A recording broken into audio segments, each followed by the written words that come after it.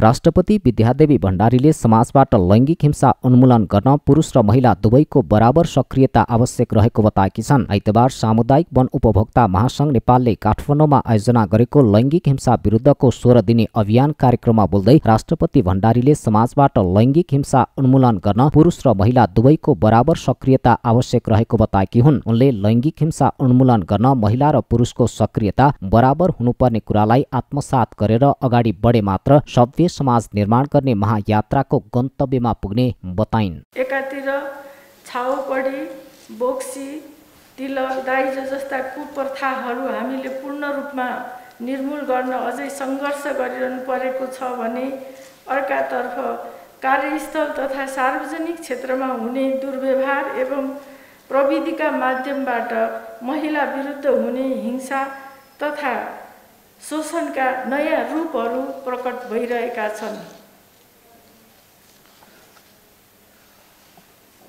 यसका साथै महिलाहरू बालविवाह बहुविवाह एसिड आक्रमण र बलात्कार जस्ता जघन्य अपराधबाट पीडित बन्नु परिरहेको अवस्था पनि विद्यमान छ।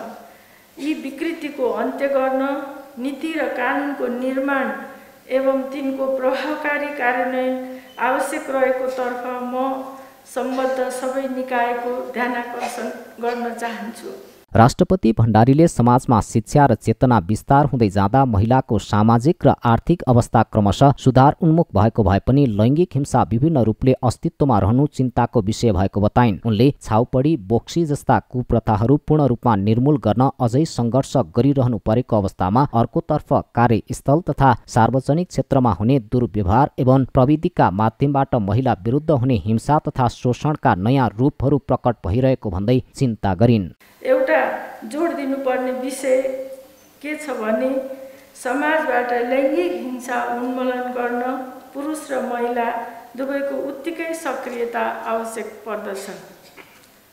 यस मान्यतालाई सबै क्षेत्रबाट गहिरोसँग आत्मसात गर्दै र गराउँदै अगाडि बढ्न सक्दा नै हामी सभ्य समाज निर्माण गर्ने महायात्राको गन्तव्यमा पुग्न सक्दछौँ। महिला हिंसा अन्त्यको लागि नेपाल सरकारले तर्जुमा गरेको नीति तथा कार्यक्रमलाई स्थानीय समुदायको तहमा पुर्याउने र समुदाय स्तरका छलफलबाट प्राप्त सुझावहरूलाई नीतिगत तहमा ल्याउनका लागि सबैको सार्थक प्रयास आवश्यक छ। राष्ट्रपति भण्डारीले वन व्यवस्थापनको माध्यमबाट जनताको जीविकोपार्जनमा सुधारका साथै वातावरण र जैविक विविधताको संरक्षण जलवायु अनुकूलन र न्यूनीकरण सामुदायिक विकास तथा आर्थिक समृद्धिका लागि महत्त्वपूर्ण योगदान पुग्ने बताइन्। उनले महिला हिंसा अन्त्यका लागि सरकारले तर्जुमा गरेका नीति तथा कार्यक्रमलाई स्थानीय समुदाय तहमा पुर्याउने र छलफलबाट प्राप्त सुझावहरूलाई नीतिगत तहमा ल्याउनको लागि सबैले सार्थक प्रयास आवश्यक रहेको समेत औल्याइन्। सामुदायिक वन उपभोक्ता महासङ्घ नेपालले पच्चिस नोभेम्बरदेखि दस डिसेम्बरसम्म लैङ्गिक हिंसा विरुद्धको सोह्र दिने अभियान सञ्चालन गरिरहेको छ।